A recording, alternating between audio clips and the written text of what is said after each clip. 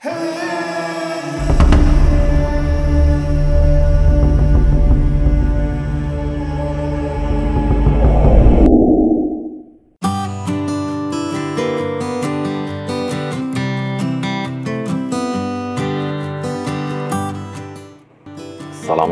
warahmatullahi wabarakatuh. Sobat semua, kali ini sobat semua akan saya ajak kembali untuk berjalan-jalan mengelilingi Taman Kolam Retensi Purwokerto yang pada hari ini memasuki bulan Februari tahun 2024 Sobat semua, perlu diket, eh, sebagaimana Sobat ketahui bahwa pembangunan kolam retensi ini bertujuan untuk pencegahan banjir yang sering terjadi di wilayah eh, Kecamatan Purwokerto Selatan. Keberadaan kolam retensi ini juga eh, dimaksudkan sebagai cadangan air kalau nanti pada musim-musim kemarau.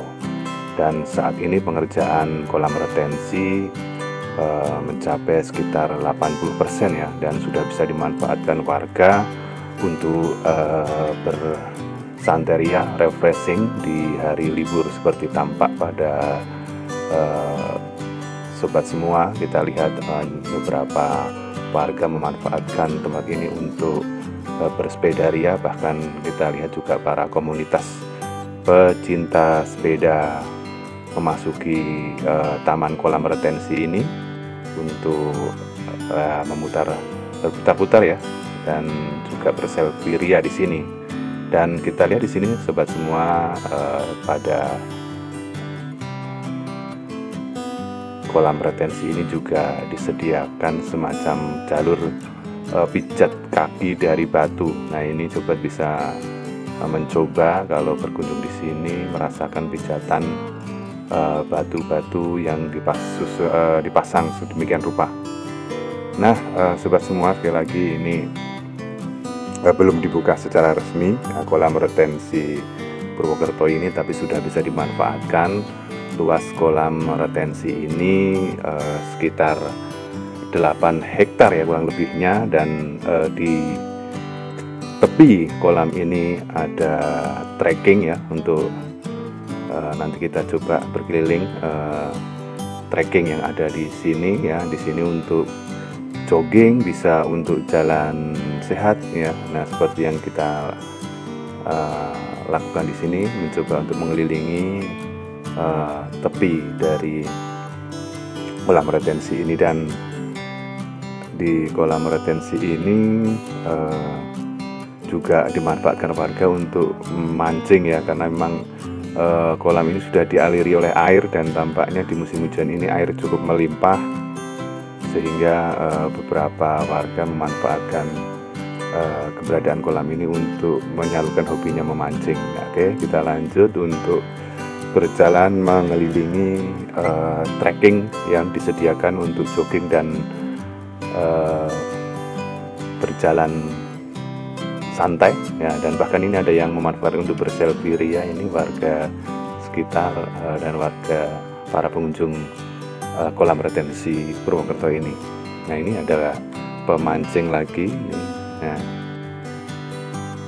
nah cukup banyak pada minggu ini para pehobi mancing dan ini ada warga juga mencari keong ya ini nah, di sela-sela apa uh, tadi uh, limbah dari sampah itu ada keong dan juga uh, trekking ini juga bisa dimanfaatkan untuk bersepeda seperti yang terlihat ini ada anak-anak mengelilingi kolam dengan sepedanya. Nah, ke keberadaan kolam ini juga diharapkan bisa meningkatkan potensi ekonomi warga untuk berjualan. Nah, seperti yang kita lihat, beberapa warga memanfaatkan uh, keramaian yang ada ini ya uh, untuk berjualan. Nah. Oke ini uh, cukup ya meskipun belum sepenuh jadi, mak uh, tampak cantik ya dilihat dan dinikmati oleh para pengunjung. Kita lanjut untuk menyusuri tepi kolam ini. Nah ini ada warga lagi yang memanfaatkan untuk berjualan. Uh, memang diharapkan ke depannya keberadaan kolam ini uh, bisa dimanfaatkan oleh warga sekitar untuk uh, berjualan ya uh, untuk ya melayani para pengunjung yang ingin uh, mencari makanan atau minuman ya setelah berputar-putar di sekitar kolam retensi ini. Dan di samping kanan ini sobat semua kita lihat uh, ada tulisan PUPR ya sigap membangun negeri. Nah ini tamannya itu nanti akan dijadikan taman. Ya kita lanjut berkeliling uh, ini sebelah kanan ya, kemungkinan nanti akan dibangun taman dan uh, sobat semua kolam retensi ini juga bisa dimanfaatkan warga untuk uh, ngomong ya putra putrinya yang ingin menikmati uh, keindahan kolam retensi Purwokerto ini. Dan tentu saja karena kolam retensi ini cukup dalam sekitar 3 meteran ya maka para orang tua juga harus apa namanya uh, mengawasi ya supaya tidak terjadi hal-hal yang ya kita tidak inginkan. Dan ini proyek ini masih uh, dikebut ya bahkan di lembur di minggu-minggu ini masih dikerjakan.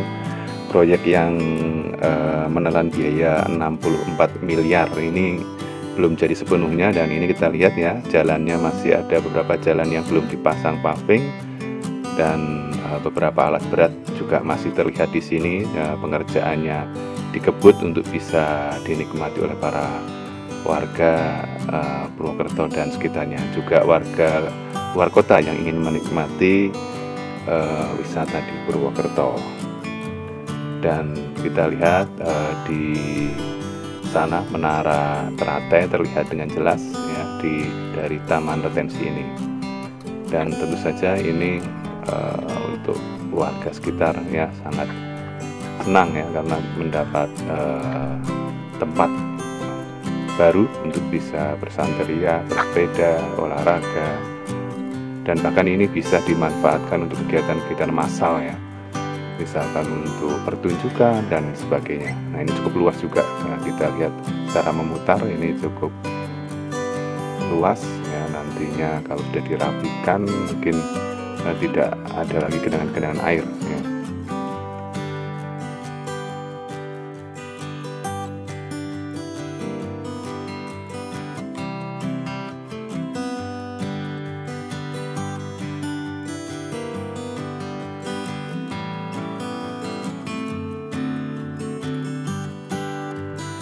dan kita juga lihat disediakan musola ini belum jadi dan juga uh, toilet. Dan ada tiga toilet ya. Dan semoga nanti ditambah fasilitas-fasilitas lain.